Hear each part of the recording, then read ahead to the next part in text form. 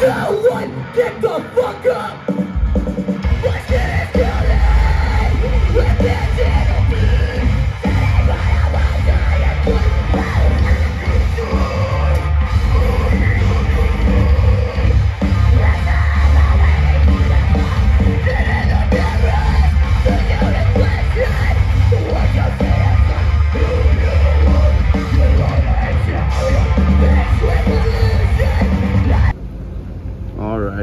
Here. With uh, across the White Water Tower. I just want to start out by saying appreciate you guys for uh, taking the time to chat with me. Um, just to start out, dude, you guys were amazing the first time I saw you. This is the second time uh, I set my friends on fire tour. I know you guys are about to uh, hop on that tour again with them. Yeah. Um, how do you guys feel about that? You know, I know you guys love playing with them. Uh, I think I talked to one of you guys last time. I don't remember who it was, but uh, yeah, what's it like uh, uh, touring with those guys and knowing them? And uh, how, how, did, how, did, how did you guys get the second, like, because I know it's the same exact lineup, right? Yeah. How did that come about? So, You start how you know them. so I like I'm a big fan of Isafov, grew up a big fan. So like I knew them from just like going to the shows and like hanging out with Matt Yeah. and Nate and stuff, and then that like worked our way because I was like I'm in the band, you know, please take us out on tour, you know that shit's cool. So Yeah. But uh, like you know, this is our third run with them. I'm super stoked. Like I said, they're one of my favorite bands, so I'm super excited for that. It's always fun. What you Evan? Yeah, I mean, uh, I, we did a few local shows with them in our area, and I was like, this band's fucking sick. I love Yeah, dude. But uh, the first two tours we did together were incredible. They're like one of my favorite bands to go on tour with. They're so much fun. All the guys are super sick. For me personally, it's fucking weird because I like have to play guitar for them now, so. I don't know what the fuck is going on with that. I'm Yeah. playing two shows for them on this tour, so that'd be fun. But uh, Fuck it's all very surreal with Hell yeah. Kiss and Pop. They're a great band. It's really an honor. Yeah, dude. Yeah. Every day's a new experience for sure.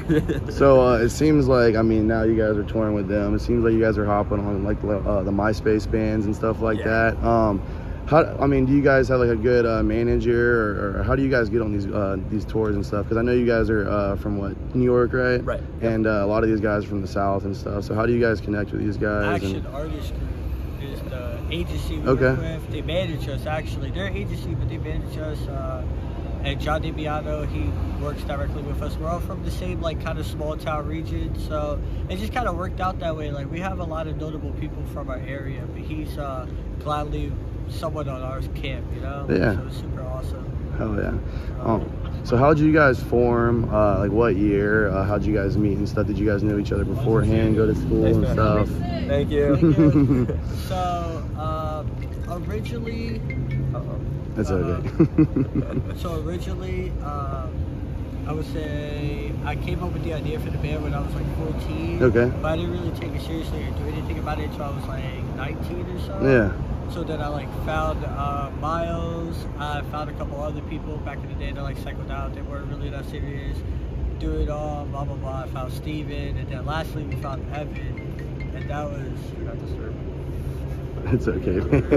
Dude, these these these are all about just going the flow. It doesn't matter at all, man. Yeah, so that was really dope. So it was just like, you know, I feel like it was basically I went to high school with one guy, that guy went to like college with another, college with another college, and then I met him over Instagram actually. okay. And Were then like we just like clicked musically. It's like he writes stuff and then I write stuff that he expected me to write. so were you in another band whenever uh, you got hit up? Yeah, I was in a series of like arguably bad local bands for Yeah. a while. Yeah. And, I think a uh, lot of people get stuck in that. he hits me up. I like just got into like my shitty day job. I was like an after school like camp counselor. Yeah. thing For, like kids whose parents work late. And he's like, "Yo, like we need a guitar player tonight." And I'm like, "Shit!" I like just got to work and it's like 2:30 p.m. Yeah. He's like, "Yeah, you got to know the set by like six. I'm like, "Fuck." so uh, I was like, "Yo, I can't do it this time, but like you know, hit me up like whenever you need somebody again." And then the following year is 2017. He's like, "Yo."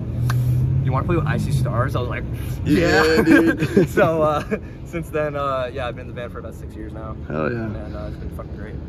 Hell yeah. So uh, what are what are some of y'all's uh, influences? Um, what are y'all some what are some bands you listen to on the road that you you know you have on repeat on on the playlist? Um, Periphery's like my favorite band Periphery, ever. hell I've yeah. seen them every single time they've come through. Uh, Loathe is another one of my favorite bands. I just love like really modern prog stuff and metalcore.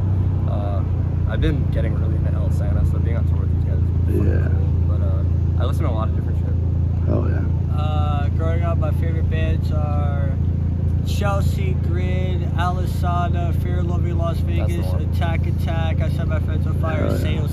Hell yeah. All love sick Samson. bands, dude. metalcore, post-hardcore, prog, like anything from like you know early 2000s post-hardcore to like modern metalcore. Like All that emo I shit. love that shit.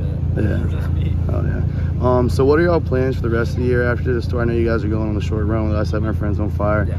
Uh, are y'all um, wanting to like make come out with more music? Are you uh, just gonna do like more like uh, tours? I mean, what's what's the plan for the next year or so? For the rest of the year. So we have to finish off this tour because there's three legs of it. So this is actually going to occupy the rest of the year because the last run is in like November yeah. into like almost December. So it's going to be dope. But uh, yeah, we have a new EP coming out. Uh, we have a new single that you can pre-save Oh, as yeah. of recording this right now.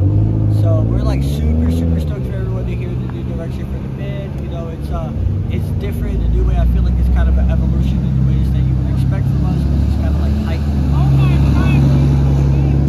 Yeah, Florida. I love Florida, Yeah, man. but Um, yeah, man, uh, we got new music coming. We're super excited about it. Like Matt said, it's just like the next step for us, pretty much. And um, yeah, we have the Ellis tour, Ismfaf next month, and we're trying to fill in the rest of the year with some other stuff that hopefully will be announced soon. But uh, so far, so good. We're very blessed to be here. hell yeah.